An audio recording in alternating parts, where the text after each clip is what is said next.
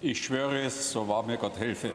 Und Gott soll dem neuen Heimatminister wohl auch helfen, das christliche Abendland zu verteidigen. Nicht mal zwei Tage im Amt schlägt der neue Heimatminister ein Bild alte Pflöcke ein. Nein, der Islam gehört nicht zu Deutschland. Deutschland ist durch das Christentum geprägt.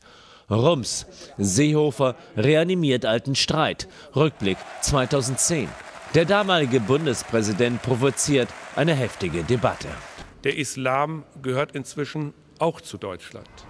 Viele in Deutschland sahen und sehen das aber anders, denn nicht der Islam meinte auch Seehofer gehöre zu Deutschland, sondern nur die hier lebenden Muslime. Meine Botschaft lautet, Muslime müssen mit uns leben, nicht neben oder gegen uns.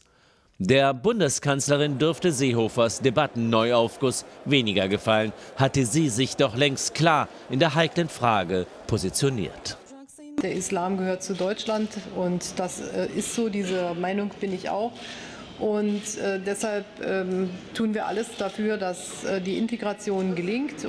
Ein Streit um Worte? Nein, es passt zu Seehofers Strategie. Er will AfD-Wähler zurückgewinnen und riskiert dafür gleich zum GroKo-Anfang großen Streit.